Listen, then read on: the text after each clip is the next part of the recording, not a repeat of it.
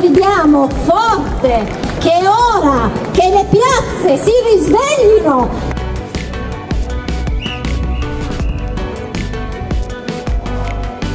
E guardate, peggio mi sento se mai dobbiamo entrare nel merito della non autosufficienza.